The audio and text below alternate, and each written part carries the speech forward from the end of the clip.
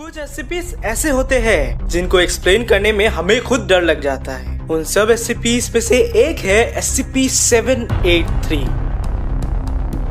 Oxfordshire England के टैम्बी नामक एक गाँव में एट थ्री अपने अगले शिकार की तलाश में घूम रहा है।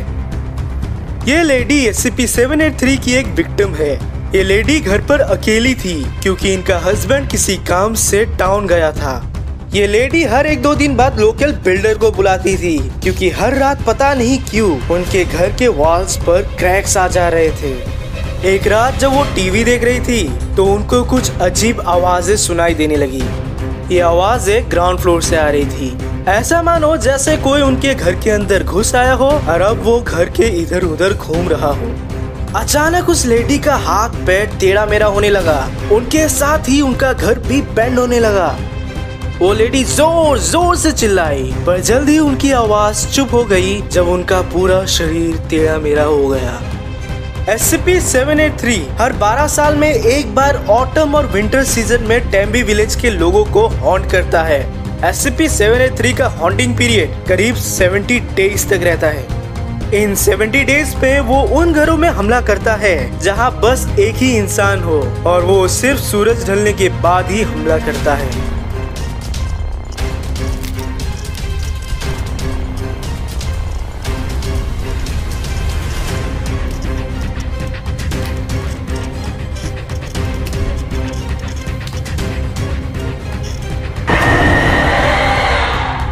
एस सी के विक्टिम्स की बॉडीज टेढ़ी मेढ़ी और लंबी हो जाती है। ऑटोप्सी करने पर यह पता चला कि इस क्रूकेट प्रोसेस के दौरान विक्टिम्स की हड्डियाँ टूट जाती है, फिर वापस ज्वाइन भी हो जाती है। इस भयानक एंटिटी के कई विक्टिम्स ज़िंदा है। उन्हें पास के एक हॉस्पिटल में रखा गया है, जहाँ उनके ट्रीटमेंट के साथ साथ उनके बिहेवियर्स पर कड़ी नज़र रखी जाती है, क्योंकि इस हॉस्पिटल को SCP फाउंडेशन ने खरीद ली हॉस्पिटल में अभी करीब 27 पेशेंट्स हैं। हर कोई का या तो पूरा बॉडी पैरालाइज्ड है, या फिर वो परसिस्टेंट वेजिटेटिव स्टेट में चले गए। एक विक्टिम का एक हाथ 2.4 मीटर लंबा पाया गया, वही दूसरे का 12.5 मीटर अब तक टेम्बी गाँव के ऑलमोस्ट सारे लोगों को इस बात की खबर लग चुकी है कि एक क्रिकेट मैन है जो ऐसा कर रहा है। कोई भी स्टेप उठाने से पहले रिसर्चर्स जल्दी से लग गए इस खोज में, ताकि कुछ तो मिले। कोई इन्फॉर्मेशन फ़ोटो कोई हिंट क्योंकि उनको कुछ नहीं पता कि उनके सामने जो ये मुसीबत है, ये क्या है, कैसा है, और इसके क्या कैपेबिलिटीज हो सकते हैं। दिन रात ढूंढते ढूंढते रिसर्चर्स के हाथ आया तो बस एक लोकल नर्सरी राइम वो राइम ये है। There lived a crooked man who made a crooked deal. He kept a crooked camp. And his catching crooked creel. He stole a crooked child who cried a crooked squeal.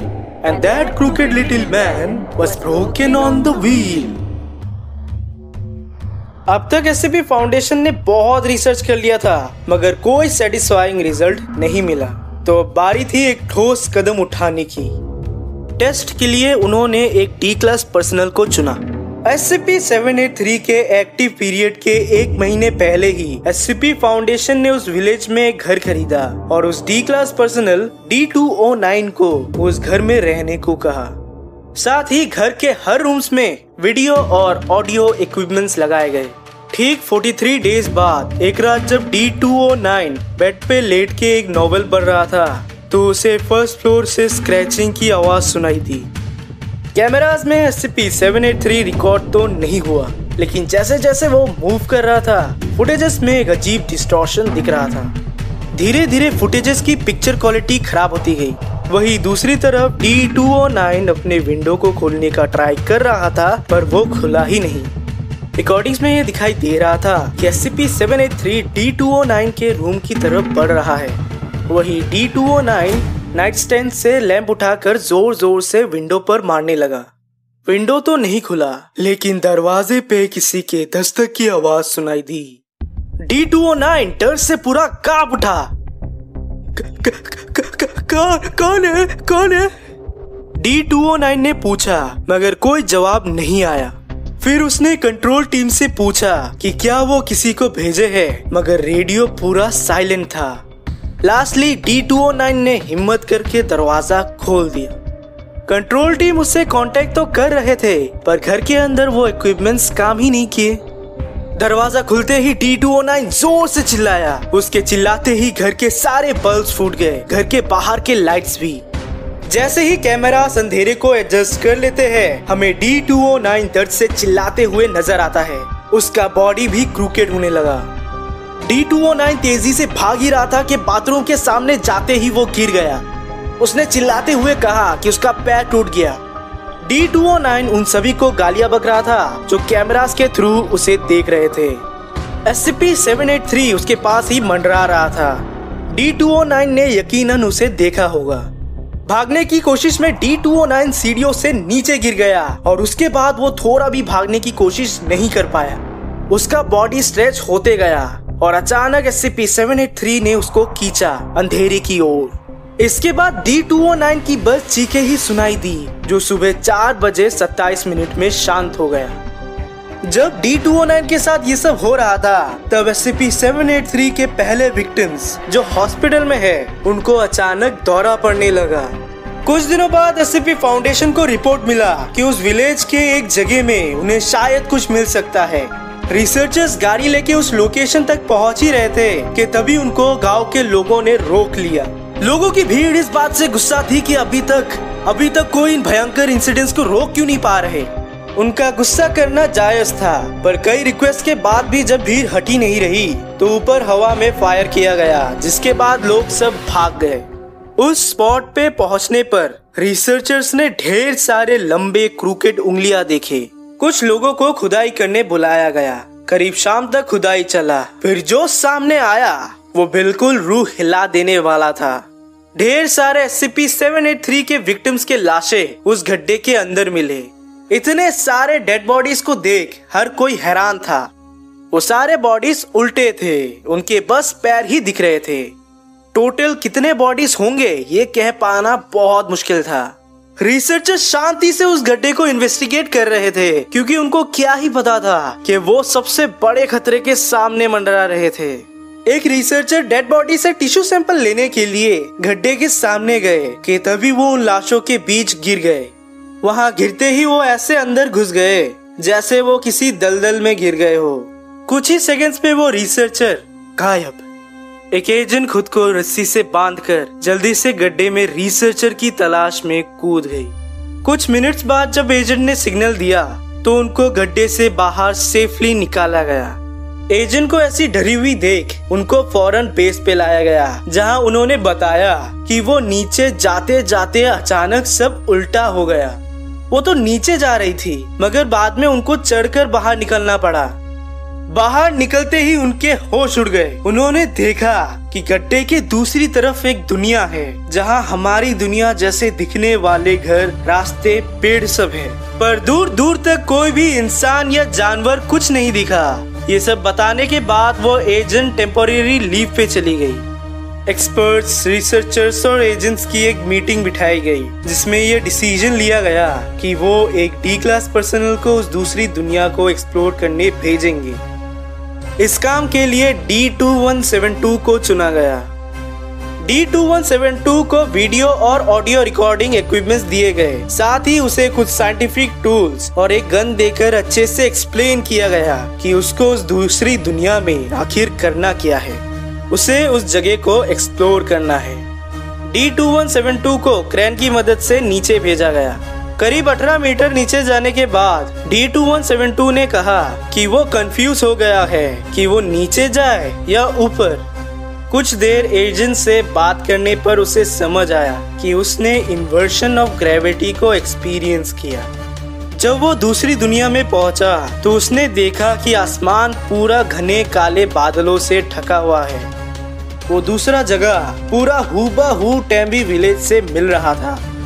थोड़ा बहुत रास्तों और घरों को देखने के बाद D two one seven two को मिट्टी का सैंपल लेने को कहा गया। इस डी क्लास पर्सनल को फिर ऑर्डर दिया जाता है कि वो मेयर के कॉटेज को एक्सप्लोर करे और उस रिसर्चर की खोज करते रहे। D two one seven two ने मेयर के दरवाजे को खटखटाया, पर कोई रिस्पॉन्स न मिलने पर वो खुद अंदर चला गया। घर को एक्सप्लोर करने पे उसे एक वॉल पर एक ड्राइंग मिला। वो एक ह्यूमन फिगर का ड्राइंग था, जिसे शायद चारकोल से बनाया गया था। D two one seven two को उस ड्राइंग को इंस्पेक्ट करने को कहा गया, पर उसको अजीब बेचैनी सी होने लगी। तो बिना उस ड्राइंग की जाँच किए वो मेयर के घर से निकल गया। उसके बाद वो बहुत टाइम तक घूमा, कई घरों को एक्सप्लोर किया। उस दौरान उसे स्ट्रेन चीज़ें देखने को मिली, जैसे कि सिंक में खून। चाकू और साथ ही उस मिसिंग रिसर्चर के एक दो सामान। इतना ऑब्ज़र्व करने के बाद उसे मॉनिटर कर रहे एजेंट्स और रिसर्चर्स को इतना समझ आ गया कि अब उस रिसर्चर के ज़िंदा रहने की उम्मीद उन्हें नहीं करनी चाहिए। D two one seven two Tembi village के बाहर चला जाता है, मगर दो किलोमीटर चलने के बाद वो ये गौर करता है कि वापस वो टेम्बी के स्टार्टिंग पॉइंट में ही पहुँच गया है, जहाँ सामने मेयर का कॉटेज है। D two one seven two डर और कंफ्यूजन से पागल होकर वापस लौटने का रास्ता ढूंढ रहा था, कि तभी उसने देखा कि एक विक्टिम को लंबा करके बांधा गया है ताकि रास्ता ब्लॉक हो जाए। D two one seven two ने उस पर फायर किया, पर उस विक्टिम का कोई रिएक्शन नहीं था।